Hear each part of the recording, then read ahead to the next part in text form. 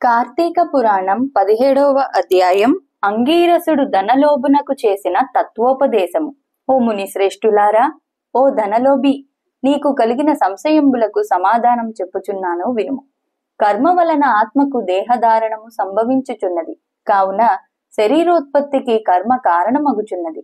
శరీర ధారణము వలననే ఆత్మ కర్మను చేయును కనుక కర్మ చేయుటకు శరీరమే కారణమగుచున్నది. స్థూల సూక్ష్మ శరీర సంబంధము వలన ఆత్మకు కర్మ సంబంధం కలుగునని తొల్లి పరమేశ్వరుడు పార్వతీదేవికి వివరించెను. దానిని మీకు నేను వివరించుచున్నాను.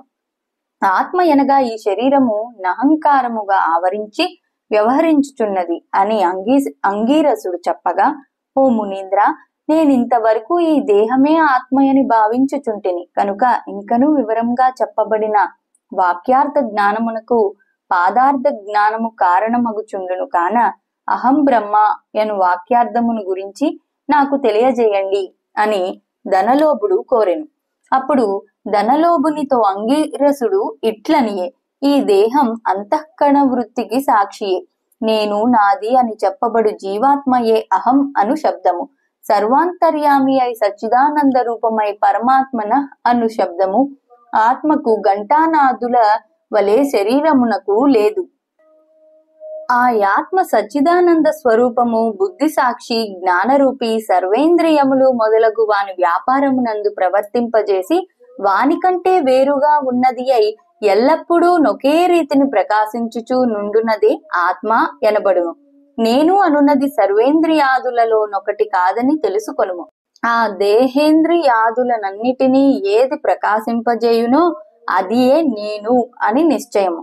అందుచేత అస్థిరములకు సర్వేంద్రియాదుల కూడా నామరూపంబుతో నుండి నశించునవియే గాక ఇట్టి దేహమునకు జాగ్రత్ స్వప్న సుషప్స్వస్థలు సూక్ష్మ సూక్ష్మాకార శరీరంబులను మూడింటి ఎందును నేను నాది అని వ్యవహరించేదే ఆత్మయని గ్రహించుకును ఇనుము సూదంటురాయిని అంటిపెట్టుకొని తిరుగునటుల శరీర ఇంద్రియాలు దేనిని ఆశ్రయించి తిరుగుచుండునో అదే ఆత్మ.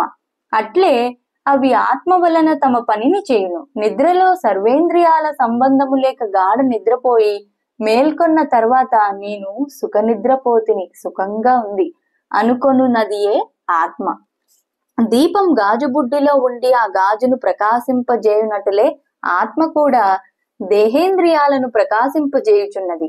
ఆత్మ పరమాత్మ స్వరూపమగుట వలన దానికి దారాపుత్రాదులు ఇష్టమగుచున్నారు.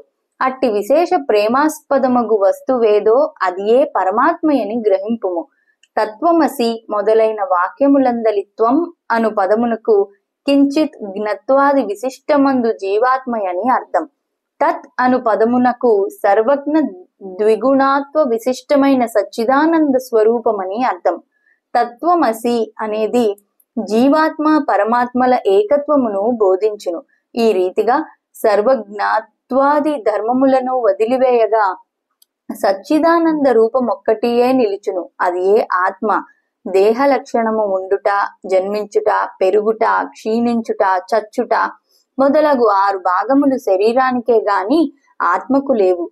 జ్ఞానానంద స్వరూపమే పూర్ణత్వము గలది. వేదములలో దేనికి సర్వజ్ఞత్వము?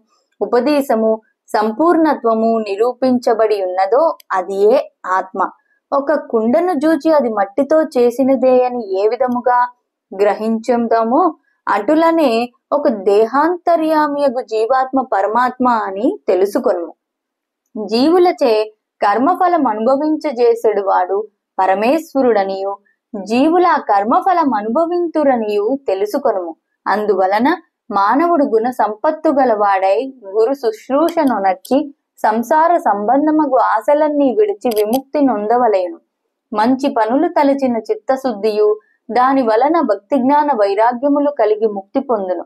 అందువలన సత్కర్మానుష్ఠానము చేయవలేను. మంచి పనులు చేసిన గాని ముక్తి లభించును అని అంగీరసుడు చెప్పగా ధనలోభుడు నమస్కరించి ఇట్లనెను.